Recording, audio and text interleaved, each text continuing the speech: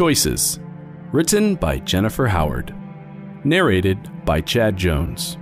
For more information on Jennifer Howard, visit jennifer howard.net. For more information on Chad Jones, visit cjvopro.com. At the end of the gravel driveway that both time and mankind had long ignored, there lay the remains of a mailbox. Random teenaged angst had caused the now dented box and splinters of its rotten wood to stand to rest uneasily amidst patches of weeds and ruts. Paint cracked and peeled in strips along its side. The name inked there had faded away long ago but I remembered it. Jones. The name had read Jones. Once, a small white house had stood just past the curve in the drive. To a child's eyes, such as mine, it was pleasant enough. The grass was always short and neat, and smoke sometimes curled from its chimney on cold mornings. No detail was striking enough to draw the average person's glance towards the house, though.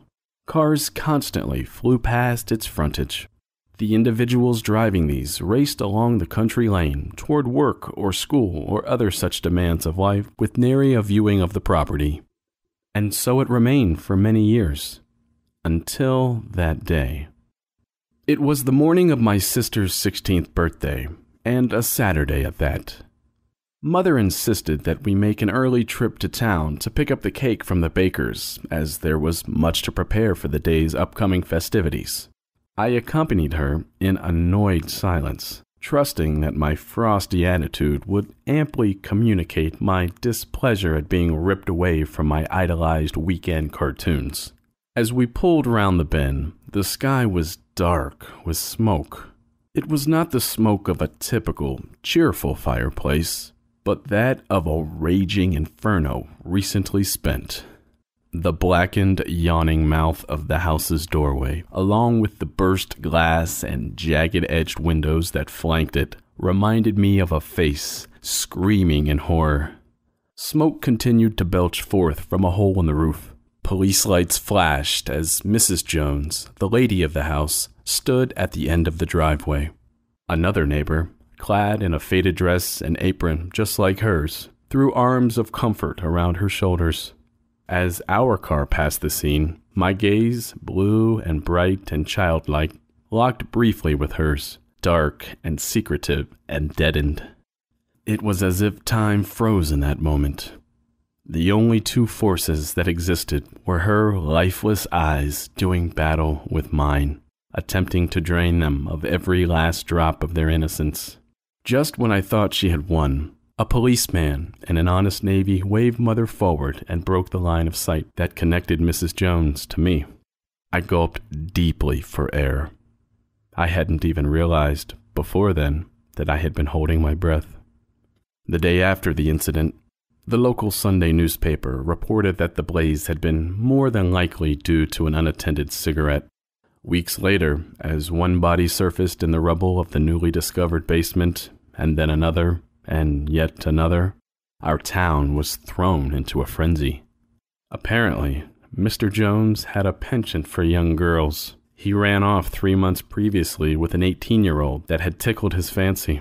Mrs. Jones had given him 20 years, yet he had given her nothing in return except for a drained checking account and a notice that the bank was ready to foreclose on the house. After this, Mrs. Jones found a few young girls of her own she liked to bind them and gag them and burn them over and over again. Eventually, gagging them proved to be insufficient.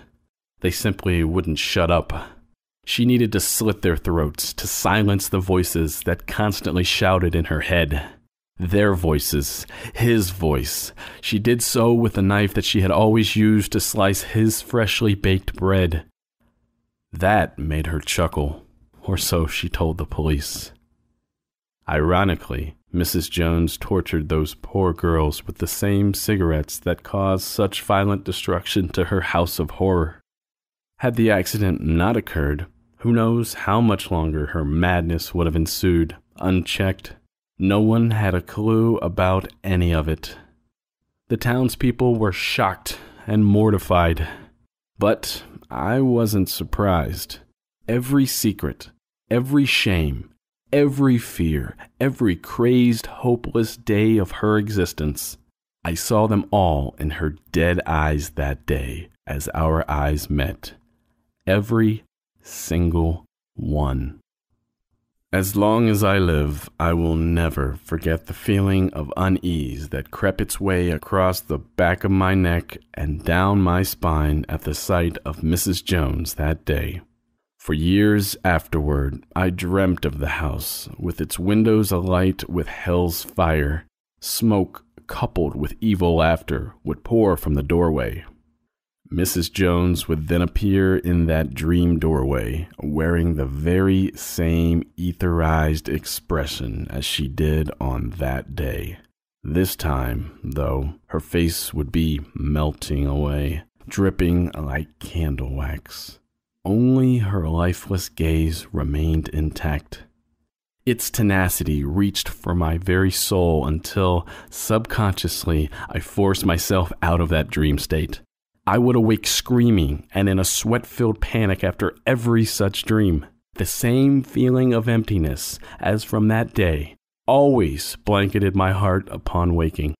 Mother continually dismissed my nightmares as the mental ramblings of a child with an overactive imagination. But I knew otherwise.